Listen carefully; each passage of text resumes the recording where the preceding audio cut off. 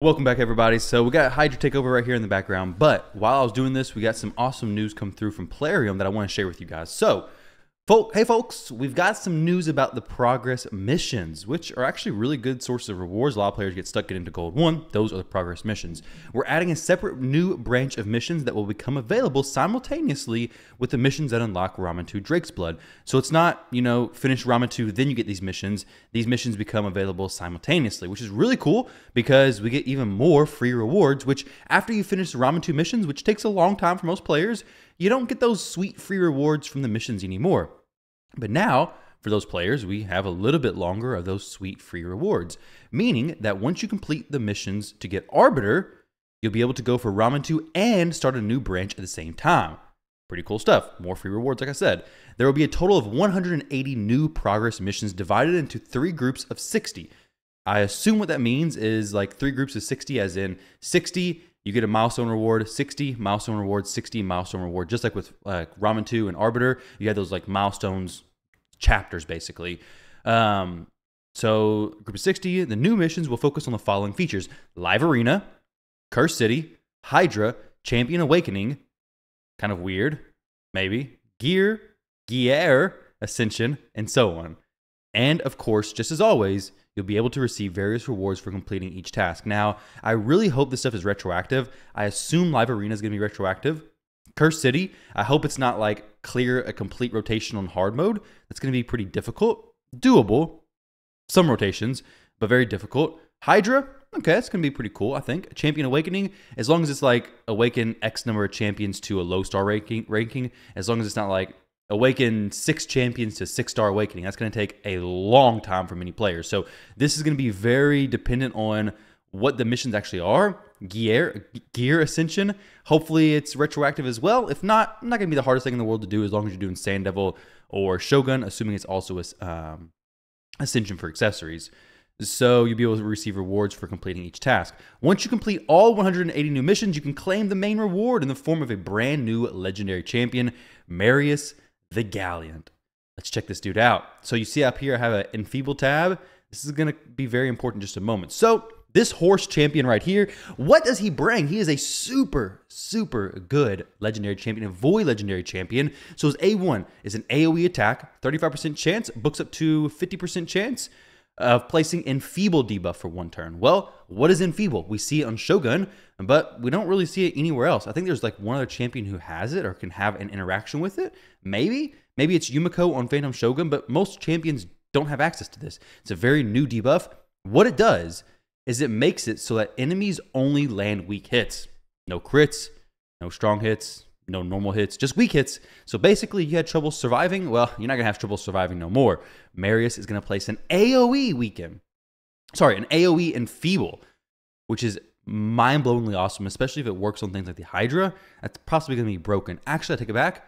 Um, Androc does place Enfeeble, and I believe it does work on the Hydra as well. So now we have a free champion who places Enfeeble.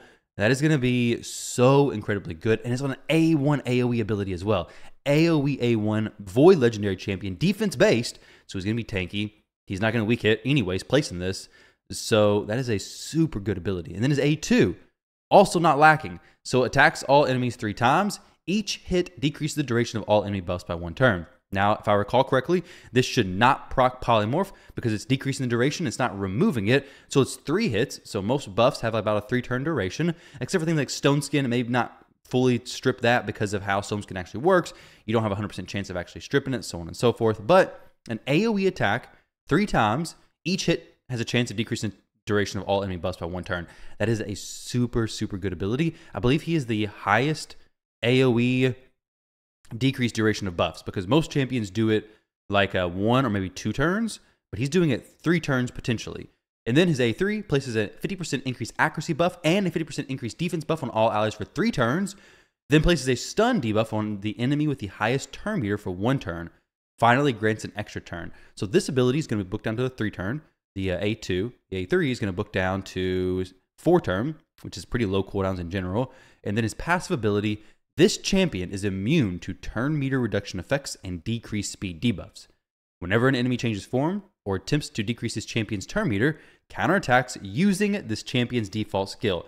In other words, if a mythical champion tries to change forms, but Kage tries to decrease his champion's turn meter. He's going to counterattack using his champion's default skill. That is incredible, especially considering his default skill is an AoE enfeeble.